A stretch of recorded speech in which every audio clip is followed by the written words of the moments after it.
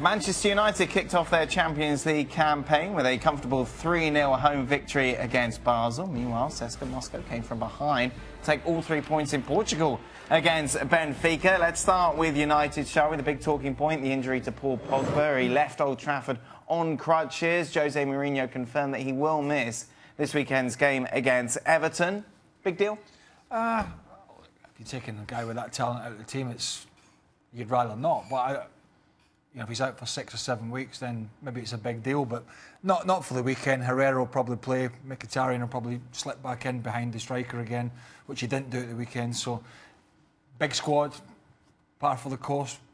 Top players get injured, so they'll move on and they'll cope. And just as important, it's a convenient schedule coming out from Manchester United. Uh, it's still a team that is playing very well. That yes, would be disappointed with the result uh, away to Stoke but then come back and win at home, you're expected to do so.